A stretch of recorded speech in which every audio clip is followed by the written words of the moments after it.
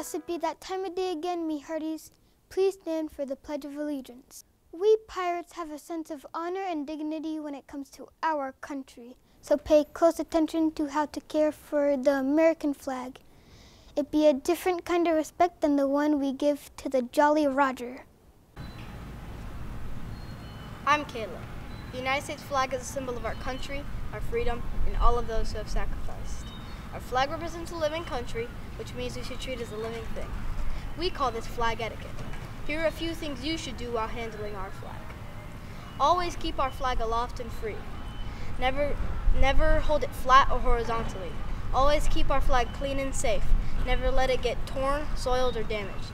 If disposing of a worn flag properly, you should always burn it. This is Caleb signing off and reminding you to treat our national symbols properly.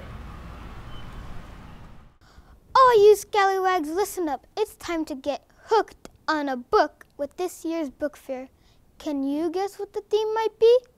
Ahoy there, mates. I'm Kais. I'm getting ready for this year's book fair. In case you have not heard, it has a really fun theme this year pirates. Shopping hours will be the same as last year for each day of the book fair 8 o'clock to 3 o'clock daily, except for family night, which is Tuesday. You can shop till you drop. Hours for shopping that will be 8 a.m. until 8 p.m. Come and feast on a delicious meal from Carrabba's. Parents are welcome to invite friends, neighbors, and relatives for the dinner. Here be a mate of mine with ye grub for today. I'd be as smart as Pate when I tell ye the book fair will be the best, me hearties. No sauce for me now.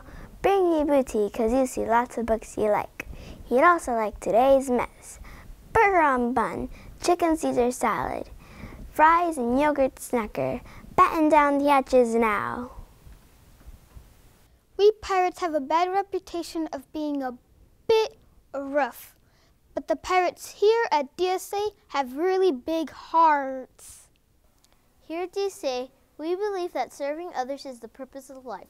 Habit number four, think win-win says to fill your bucket. Now is your chance to fill someone's bucket. Operation Christmas Child gives to kids who are less fortunate. It's easy, fun, and inexpensive. So, what's involved? Step one, get a shoebox, either cardboard or plastic, but you must have a lid that fits. Decide if you would like to make the box for a boy or a girl. Step three, decide what you would like to send. Here are some great ideas to put in the box. School supplies such as pencils, erasers, colored pencils, notepads, coloring books. You could also send small cars, balls, dolls, stuffed animals, kazoos, jump ropes, yo-yos, or small games. Once you're done filling your box, please place a rubber band and a sticky note with the age and gender the box is meant for. Bring your items to your homeroom class and they'll be collected in mid-November, or you could bring them to Miss Wilma's class to the donation center outside her room. Can you bring in items even if you don't have a box? Yes, you can. This is Ellie asking you to think win-win and make it a special day for someone else who is less fortunate. There'll be an election right around the corner. Here is Dax. Every vote counts. If you want to be a good citizen, do your duty and vote. Who is eligible to vote in our country? In the United States, you are eligible if you are 18. And you also have to be a citizen of the U.S. When you vote in a presidential election, you have a choice between two or more different candidates who are running for office. Voters pick the person they think will do the best job leading our country. My name is Dax. Go educate yourself and get out and vote. Can you guess what a pirate's favorite candy is? Golden nuggets of candy corn, of course. What's your favorite fall treat? Hey Justin, what is your favorite fall treat? Pumpkin cream pie. Mmm, mine too. I'm here with Tyson. Tyson, what is your favorite fall treat? Cookies.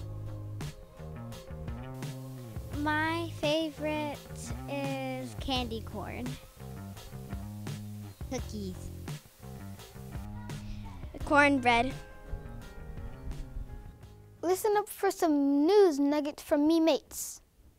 Hello, I'm Jeremiah with the Davenport Dish. DSA has done it again. Congratulations to all fourth and fifth graders that made it to the All State Choir.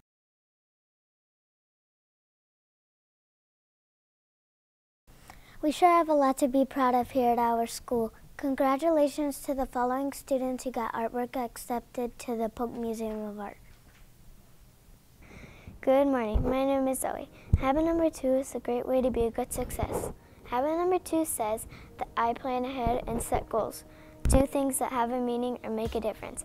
I am an important part of my class and I contribute to my school's mission and vision, and I look for ways to be a good citizen. My sea legs are getting a bit weak, so see you at the book fair.